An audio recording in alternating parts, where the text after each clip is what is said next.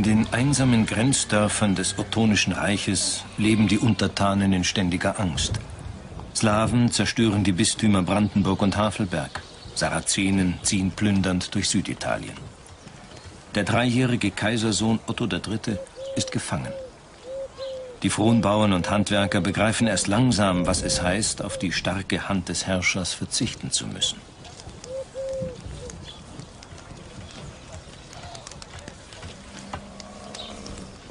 Propst Tietmar von Merseburg schreibt in seine Chronik, aus der Hand des Erzbischofs Warin von Köln empfing Herzog Heinrich von Bayern das königliche Kind, um diesem seine Würde zu rauben.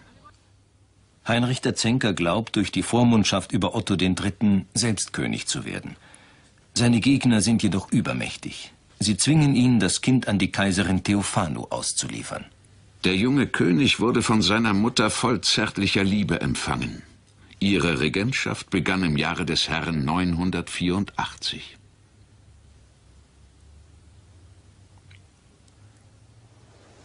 In den nächsten beiden Jahren ziehen Kaiserin Theophanu und Otto III. rein auf und rein ab. Sie besuchen den Erzkapellan Willigis von Mainz, Hildebold von Worms, den Leiter der Hofkapelle, und andere Reichsbischöfe.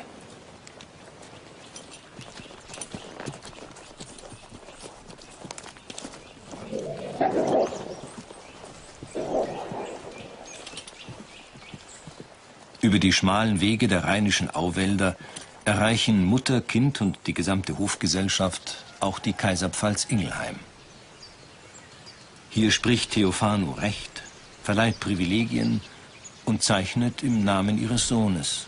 Otto, durch den Willen Gottes, König. Bewusst setzt sie die Herrschaftsauffassung ihres verstorbenen Gemahls fort. Nach wie vor stützt die Reichskirche die ottonische Dynastie.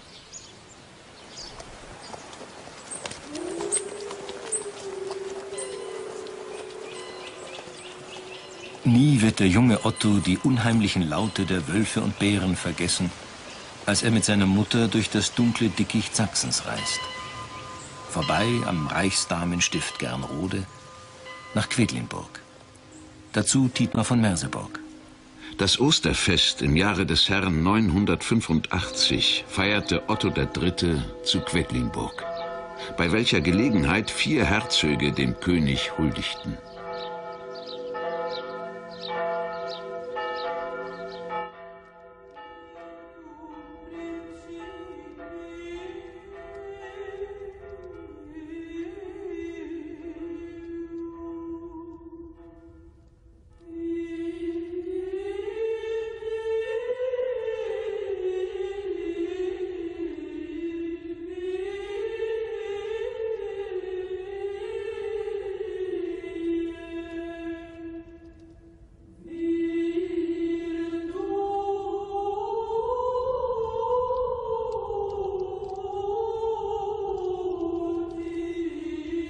Auf dem Hoffest, das Ottos Tante, die Äbtissin und spätere Reichsverweserin Mathilde von Quedlinburg ausrichtet, wird der fast fünfjährige König allgemein anerkannt.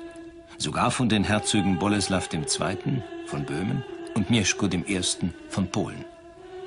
Hier, in der Pfalzkapelle St. Viperti des Königshofes zu Quedlinburg zeigt sich, die von den Reichsbischöfen getragene Herrschaft der Kaiserin Theophano ist von Erfolg gekrönt.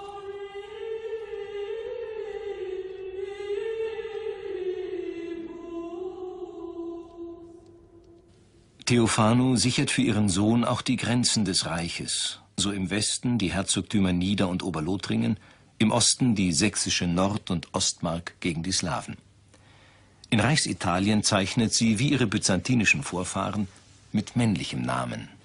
Theophanius, durch göttliche Gnade erhabener Kaiser. Mit wahrhaft männlicher Kraft wachte sie über ihren Sohn und das Reich. Nach dem bösen Omen einer Sonnenfinsternis erkrankte aber die Kaiserin und schied aus dem Leben. Am 15. Juni 991 zu Nimwegen. So berichtet ein Zeitgenosse.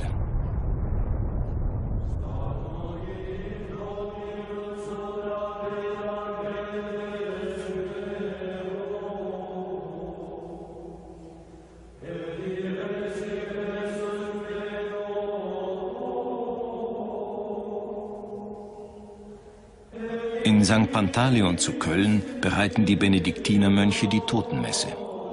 Sodann wurde die Kaiserin durch Eberger, den Erzbischof der heiligen Kölner Kirche, im Beisein ihres Sohnes im St. Pantaleonsstift beigesetzt. Notiert Dietmar. Niederschmetternd empfindet der elfjährige König den Verlust. Nie wieder wird er neben seiner geliebten Mutter auf dem Thron der Herrschaftsempore von St. Pantaleon sitzen können. Für ewig aber soll das Westwerk an seine Mutter erinnern. Vor wenigen Jahren hat die Kaiserin Theophano den repräsentativen Bau mit prächtigen Ornamenten der Abteikirche anfügen lassen. Das Westwerk sollte den Machtanspruch des ottonischen Herrscherhauses den Mönchen gegenüber verkünden, auch wenn die kaiserliche Familie nicht in Köln verweilte.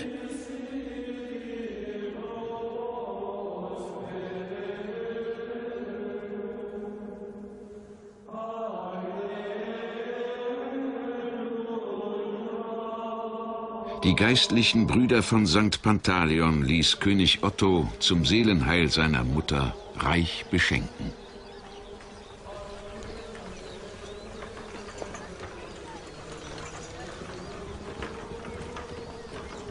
Als die erhabene Kaiserin Adelheid vom Tod Theophanus und ihrer Beisetzung in St. Pantaleon zu Köln hörte, suchte sie in Begleitung eines prächtigen Gefolges ihren Enkelsohn auf, um ihn zu trösten.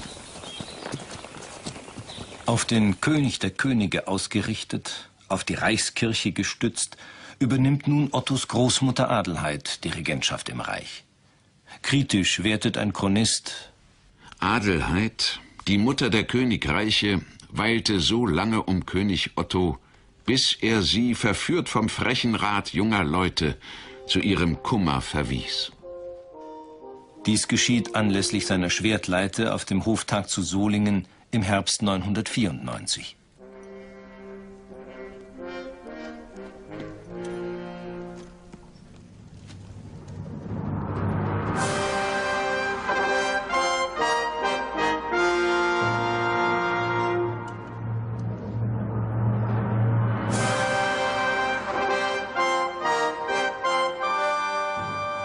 Ottos des dritten Volljährigkeit ändert sich nicht viel.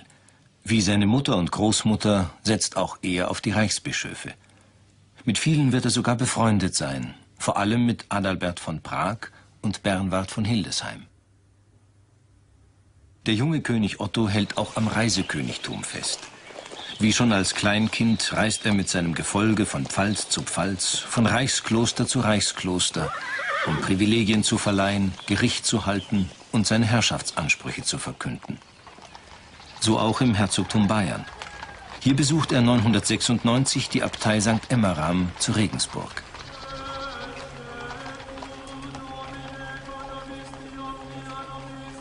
Heinrich der Zenker, der im vergangenen Jahr verstorben ist und in St. Emmeram dieses Tischgrab erhalten wird, bleibt Otto stets in Erinnerung. Versuchte er doch ihm, dem von Gott auserkorenen, die königliche Würde zu rauben. Als Herzog von Bayern wird ihm jedoch dessen Sohn und Nachfolger treu zur Seite stehen. Nachdem König Otto einen Streit zwischen dem Abt Ramwold und dem Regensburger Reichsbischof geschlichtet hat, lässt er sich zu den Reliquien des heiligen Emmeram führen.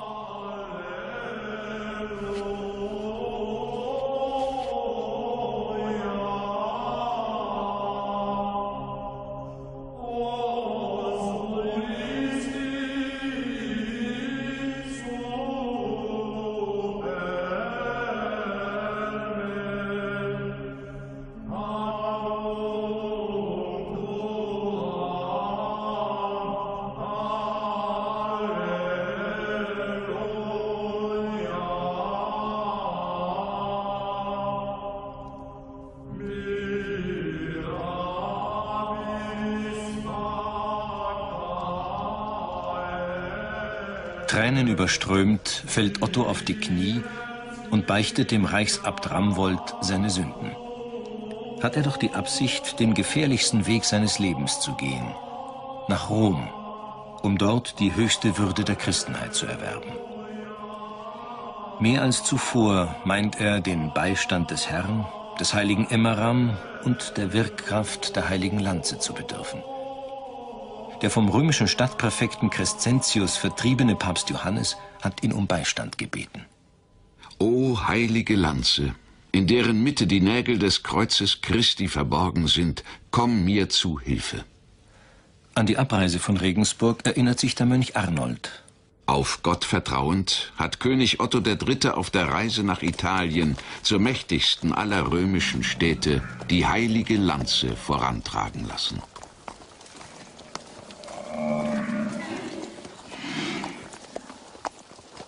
König Ottos Bedenken sind unbegründet.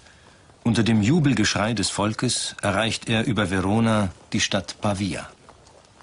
Dort huldigen ihm die großen Reichsitaliens. Weiter auf prunkvollen Schiffen den Fluss Po entlang nähert er sich mit seinem ständig anwachsenden Gefolge den mit Malaria-Fieber verseuchten Sümpfen des Mündungsdeltas.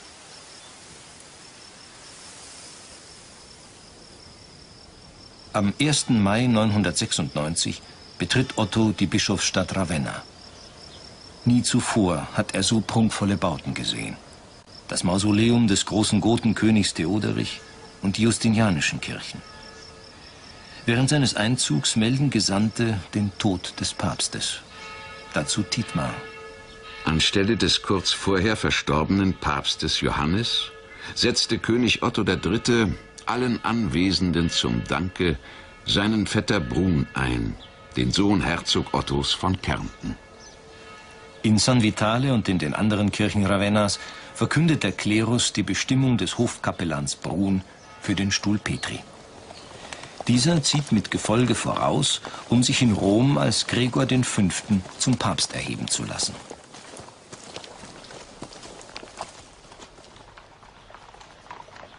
Im Mai 996 kam auch König Otto III. nach Rom, des stattlichen Kaisers schönster Sprössling.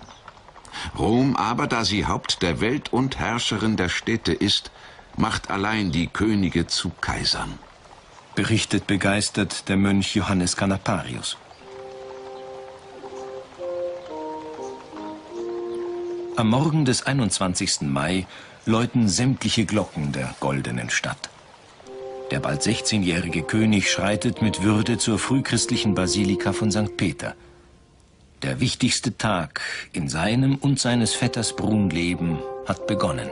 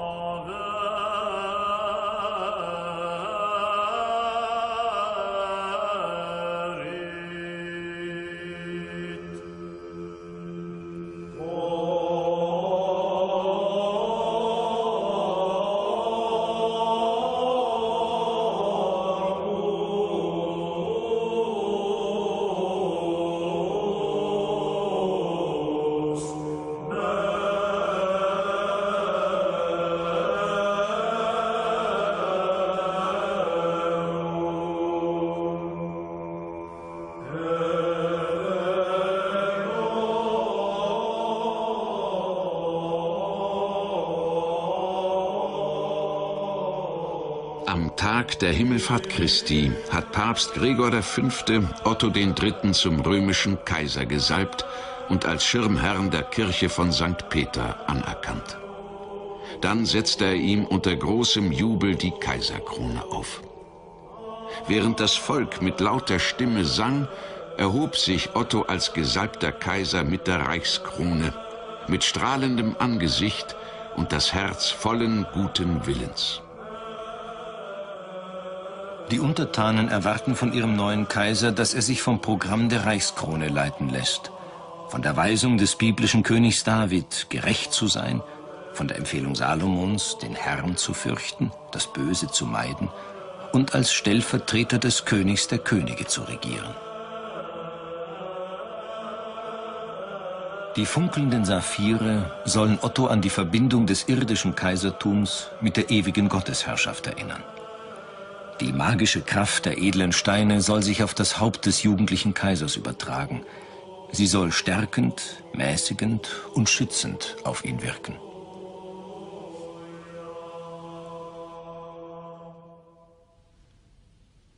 Erhält ihr zwei leuchtende Sterne, die Länder der Nähe und Ferne. Erleuchtet die Kirchen, das Dunkel vertreibt. Mit dem Schwert halte der eine die Wacht der andere wirke mit Wortesmacht. Dichtet der Hofkapellan Leo über den Kaiser und den Papst. Der Krönung schließt sich eine Synode an, auf der sich Otto III. weigert, die konstantinische Schenkung an die Kirche anzuerkennen. Eine Unterwerfung des Kaisers unter das Papsttum rückt damit in weite Ferne. Im Oktober 996 verdunkeln sich die Wolken über dem Tiber. Nach Abzug des Kaisers vertreibt der Stadtpräfekt Crescentius Gregor V., liefert Rom dem byzantinischen Herrscher aus, erhebt sogar einen Gegenpapst. Voller Zorn kehrt Otto zurück. Der Kampf beginnt.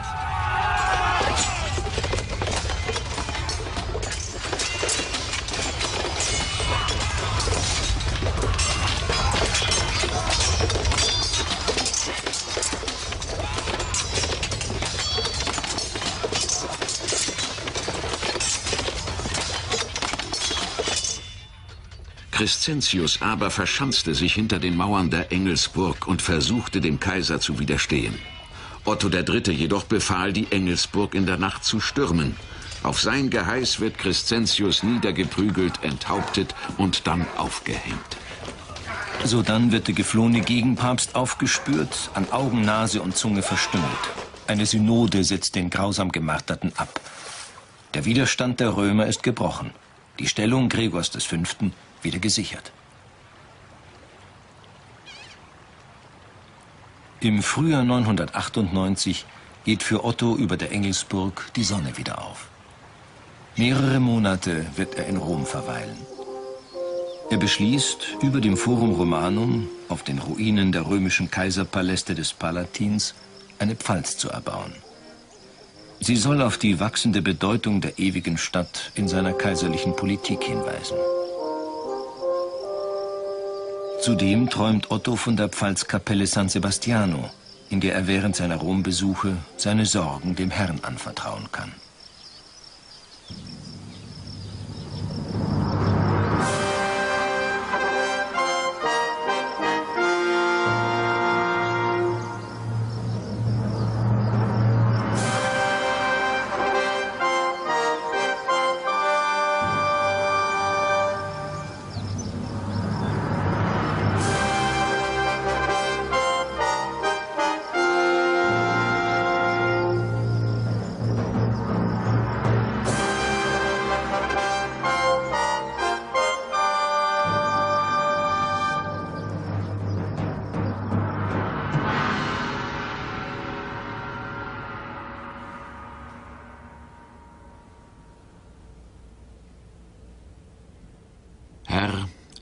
Dich, mein Gott, bring mir Hilfe.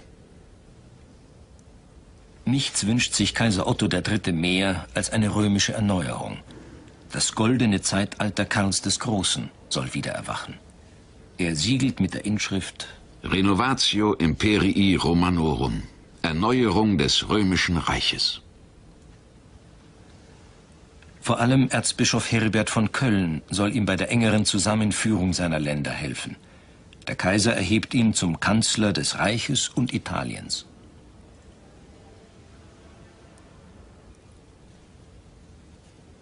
Mit Schwert und starker Hand sollen die Markgrafen Hugo von Tuscien und Konrad von Spoleto die Zügel der Herrschaft halten und vor allem Rom nicht aus dem Auge lassen, da von hier der Widerstand ausgeht. Schau an deine Stadt Rom, erneuere sie. Rom soll unter der Herrschaft Ottos III. blühen. Die tapferen Reiche der Slawen fehlen uns nicht. Kräfte spenden auch das männerreiche Germanien und Gallien. Dichten selbstbewusst Erzbischof Gerbert von Aurillac und der Hofkapellan Leo, die kaiserlichen Berater. Plötzlich aber zerbrechen die hochgesteckten gemeinsamen Ziele mit seinem päpstlichen Vetter. Gregor V. ist 999 überraschend verstorben, mit nur 27 Jahren. Otto III. erfährt von dessen Tod auf einer Sühnewallfahrt zu Monte Gargano, die ihm wegen der Hinrichtung von Crescentius und des Gegenpapstes auferlegt wurde. Otto bestimmt als Nachfolger Gerbert von Aurillac. Als Papst Silvester II. leitet er mit dem Kaiser seine erste römische Ostersynode. Gemeinsam erheben sie den Hofkapellan Leo zum Bischof von Vercelli.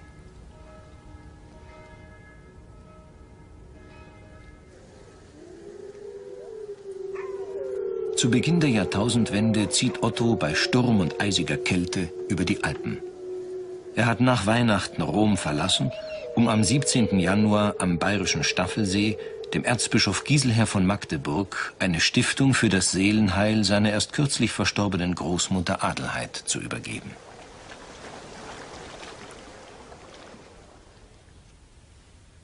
Danach beeilte sich der Kaiser, als er von den Wundern vernahm, welche Gott durch den heiligen Blutzeugen Adalbert verrichtete, nach Gnesen zu reisen.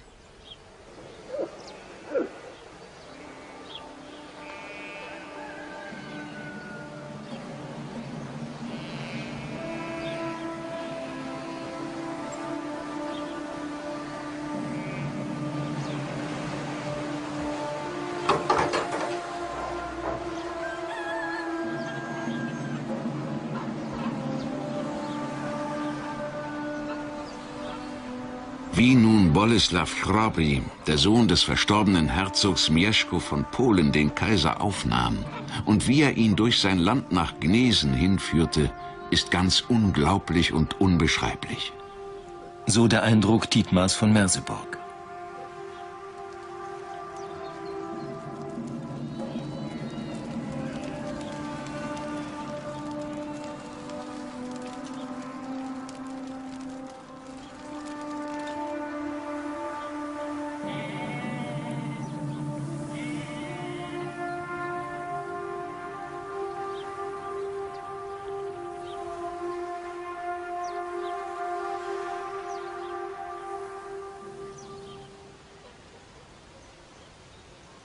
Nie zuvor hat Otto III. die hölzernen Schutzwälle der slawischen Burgen gesehen. Wie die anderen befestigten Orte ist auch Gnesen, zum Schutz gegen die Prutzen, mit Palisaden und hölzernen Wachtürmen bewehrt.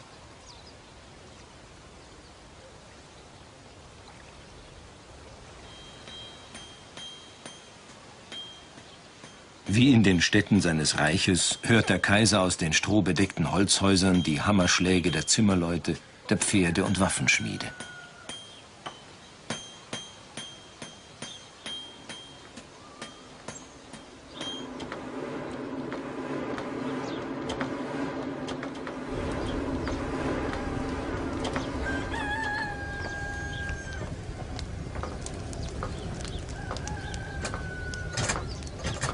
Kurz vor seiner Gnesenfahrt hat Otto in einer Werkstatt eine Kopie der heiligen Lanze anfertigen lassen deren Blatt ebenfalls eine Nagelreliquie des Herrn enthält.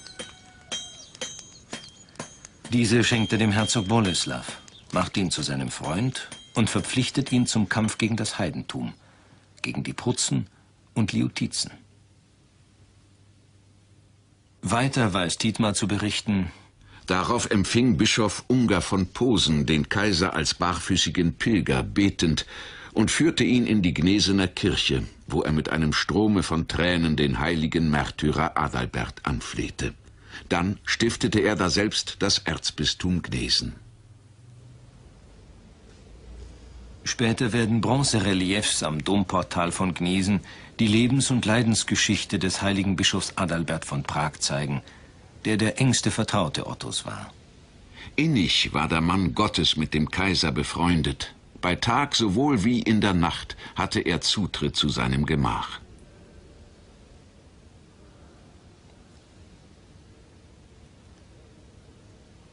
Nur wenige ahnen, wie tief getroffen Otto ist, als er in Gnesen erfährt, dass die heidnischen Prutzen das Haupt Adalberts sogar auf einem Pfahl aufgesteckt den Vögeln preisgaben.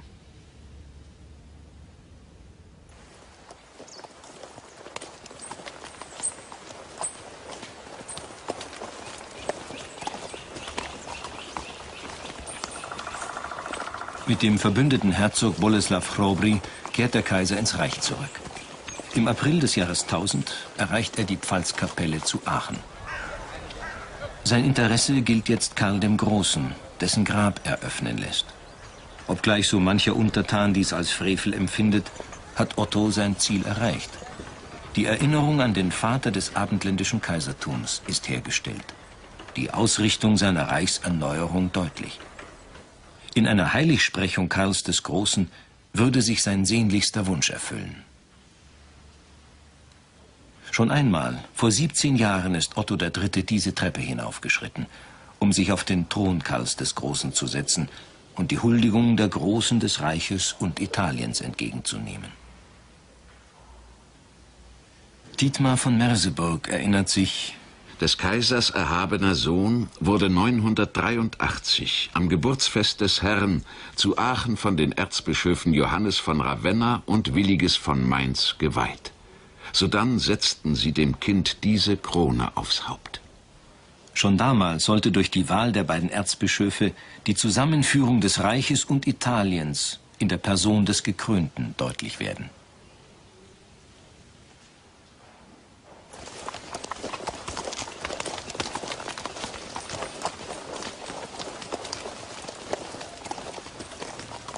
Im Juni des Jahres 1000 reitet Otto wieder nach Süden diesmal durch die endlos sich erstreckenden Laubwälder des Herzogtums Schwaben, vorbei am Bodensee und der Reichsabtei Reichenau. Dem dortigen Benediktinerkloster verdankt er viel, weitaus mehr, als er dies mit Privilegien zeigen kann.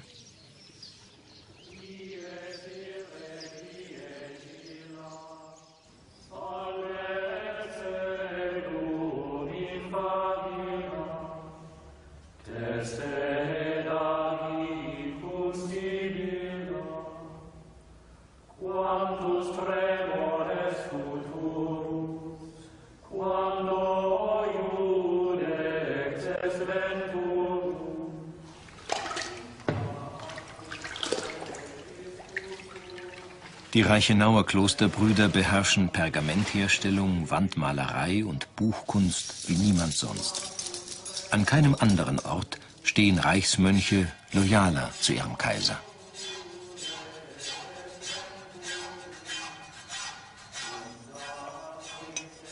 Im Reichenauer Skriptorium entstehen Miniaturen, die die von Gott eingesetzte Herrschaft Ottos deutlich zeigen, die seine Machtansprüche nachdrücklich unterstützen.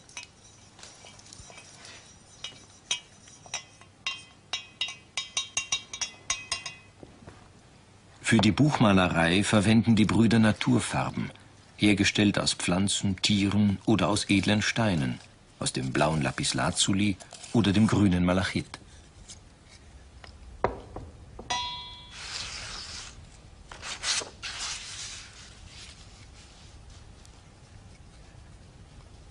Auripigment verträgt sich nicht mit dem Grün, weder mit dem Folium noch mit Männige oder Bleiweiß.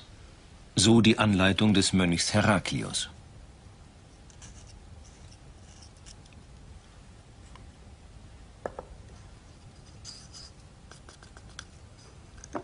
Im Mörser zermahlen, mit Eidotter und Wasser reichlich vermengt, tragen die Klosterbrüder auf das Pergament die Farben auf. Diesem Rezept folgt auch der Reichenauer Mönch Lyotard, als er für Kaiser Otto III. das Widmungsbild seines Evangeliars gestaltet. Mit dem überaus wertvollen und geschätzten Lapislazuli Blau umrahmt er sein eigenes Antlitz. Möge Gott dir, Kaiser Otto, mit diesem Buch das Herz erweiten. Erinnere dich, dass du es von Liuta erhalten hast.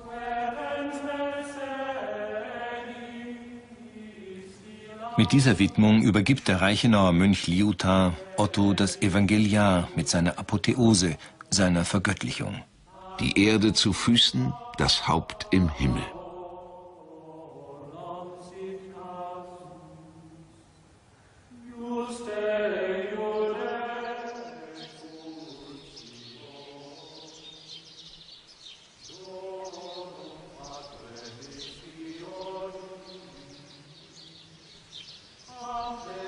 Bereits im Herbst des Jahres 1000 ist Kaiser Otto weit vom Reichenauer Marienmünster entfernt.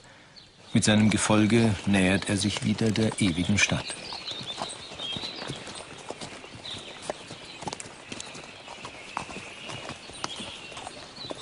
Ottos Rombesuch gilt diesmal seinem ermordeten Freund, dem heiligen Bischof und Märtyrer Adalbert. Auf der römischen Tiberinsel stiftet er ihm eine Gedächtniskirche. Zur Verehrung der Reliquien des heiligen Adalbert und des Apostels Bartholomäus, die der Kaiser hierher bringen lässt, erbaut er ein Gotteshaus mit einer Stollenkrypta. Heiliger Adalbert, steh uns, dem Knecht Jesu Christi, bei, nach dem Willen Gottes unseres Erlösers und Befreiers, Kaiser der Römer. Nach alter Überlieferung lässt Otto in der Kirche den Adalbertsbrunnen aufstellen und mit Steinreliefs verzieren. Mit dem König der Könige, mit dem heiligen Apostel Bartholomäus und mit dem Patron des Gotteshauses, dem heiligen Adalbert.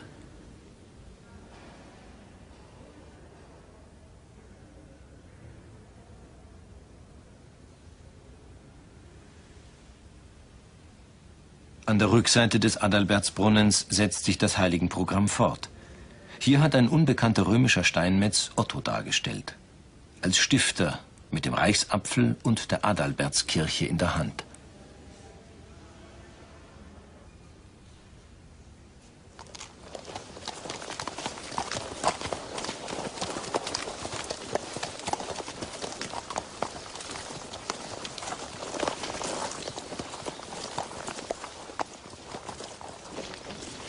Nachdem Otto mit Hilfe des Papstes und des Reichsbischofs Bernward von Hildesheim einen Aufstand in Tivoli befriedet hat, begibt er sich 1001 wieder nach Ravenna, diesmal aber zum Kloster Sant'Apollinare in Klasse.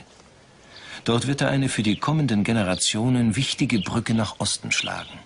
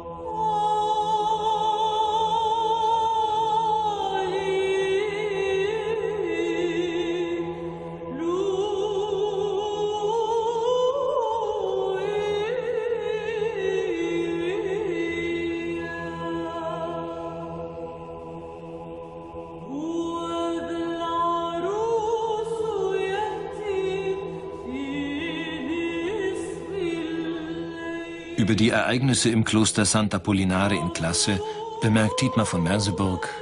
Durch die Gunst und Mahnung Kaiser Ottos III. empfing der ungarische Herzog Weig, der Schwager des Bayernherzogs Heinrich, nachdem er in seinem Reich Bischofssitze eingerichtet hat, Krone und Salbung. Otto und Papst Silvester haben im April 1001 der Königserhebung Weigs und der Errichtung der ungarischen Kirchenprovinz Gran zugestimmt. Diese Orientierung nach Westen wird Ungarn für Jahrhunderte prägen.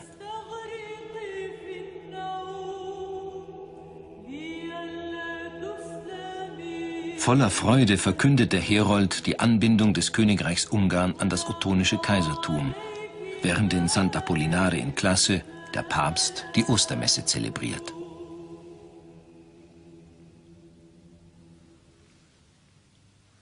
Vier Monate danach wird Weig vom Erzbischof Anastasius in Gran mit dem christlichen Namen Stephan zum König von Ungarn gekrönt.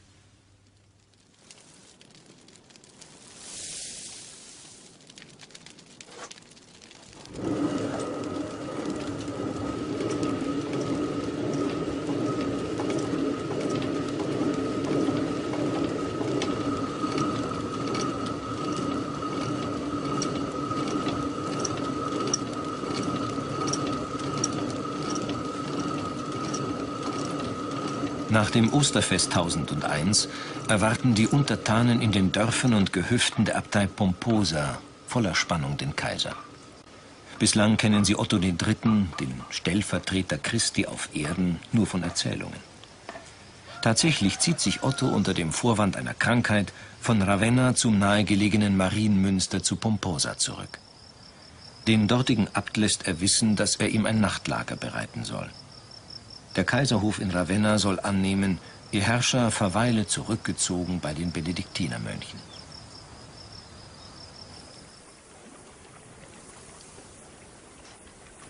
Otto III. aber lässt sich des Nachts, unbemerkt und verkleidet, von wenigen Getreuen nach Venedig rudern. Wie auf seiner Gnesenfahrt verlässt er sein Reich, um durch einen Freundschaftsbund einen benachbarten Fürsten an sein Kaisertum zu binden. Diesmal wird er den Dogen Orseolo II. treffen. Für dessen Sohn hat er bereits vor Jahren die Patenschaft übernommen. Über den heimlichen Venedig-Besuch äußert sich der Gesandte Johannes Diakonus. Der Hof war darüber höchst erstaunt. Er konnte es kaum glauben. Während Otto III. in Venedig weilt, bricht in Rom erneut der Aufstand los. Nun aber verschlossen die Römer die Tore. Einige von den Getreuen des Kaisers wurden schmählich ermordet. So die Worte des Augenzeugen Tangmar. Als Otto selbst vor der Aurelianischen Mauer erscheint, wird auch ihm der Zugang verwehrt.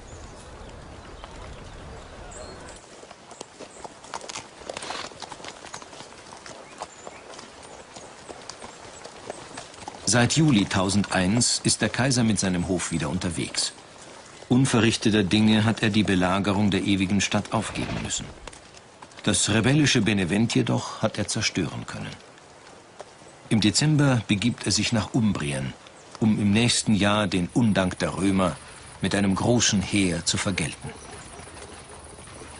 Im Dezember zieht Otto in die Bischofsstadt Todi ein, wo Papst Silvester II. eine Synode einberufen hat. Zusammen mit dem Kaiser will er über die Aufhebung des Merseburger Bistums und den Streit um Gandersheim beratschlagen. Zu einer endgültigen Lösung wird es nicht kommen. Zudem erfährt Otto, dass der getreue Markgraf Hugo von Tuscien verstorben ist. Durch den Tod seines mächtigsten Vasallen in Reichsitalien rückt die Eroberung Roms in weite Ferne. Markgraf Arduin von Ivrea und andere Feinde des Kaisers gewinnen mehr und mehr an Boden.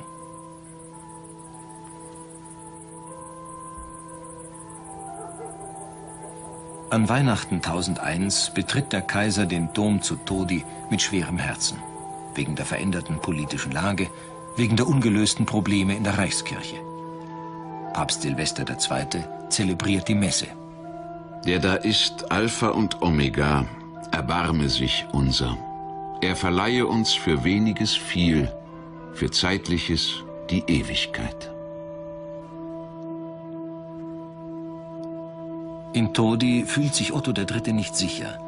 Er wählt im Januar 1002 die auf einem bewaldeten Felsrücken erbaute Burg Paterno, nordwestlich vom Berg Soracte, zu seinem Winterquartier.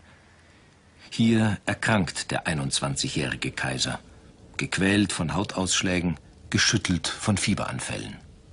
Zu dieser Zeit des Winters 1002 starb der milde Otto ohne Kinder. O weh, er starb, als man es nicht erwartete. Er, der große Kaiser, in einer engen Burg. Weder Lanze noch des Schwertes Schärfe vermochten ihn der Hand des Todes zu entreißen. Das Reich Ottos beginnt sich aufzulösen. In Italien bricht der offene Kampf aus. Im Osten verwüsten die Slawen Städte und Dörfer. Laut klagt die Welt. Es trauere die Kirche. Kein Lied erklinge in Rom, wehe Klage sei im Palast. Der Hingang des Kaisers zerstört die Ordnung der Zeit.